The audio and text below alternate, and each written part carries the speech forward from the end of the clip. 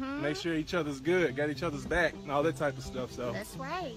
That's right. That's what kept us together, having each other's back. And the thing is, Melody always had my back from, um, I guess, the beginning.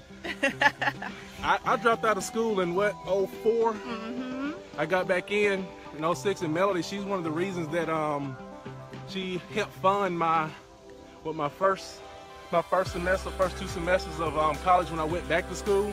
Mm-hmm. She loaned me what about fifteen hundred dollars? Yep, yep. Woo, big timer.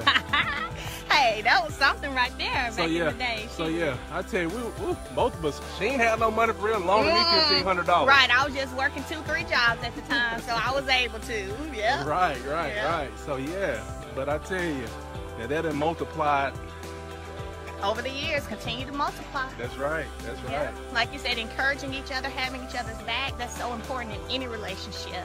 Mm-hmm. And seeing each other through life's changes, life's growth, life's disappointments, life's heartaches. We've experienced so much together birthdays, people's anniversaries, our anniversaries. We've experienced death, we've experienced birth. You know, experiencing all of those things together. That's right. That's what makes your bond strong, going through life together. That's right.